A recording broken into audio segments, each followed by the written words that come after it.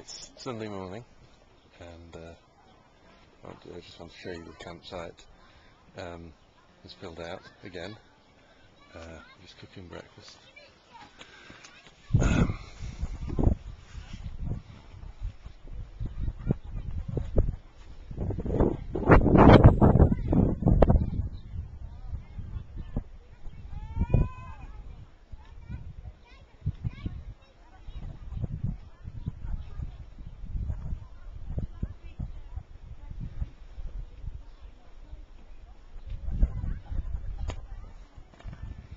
And apparently, um, at one of the tourist information places, they said uh, this campsite's always full.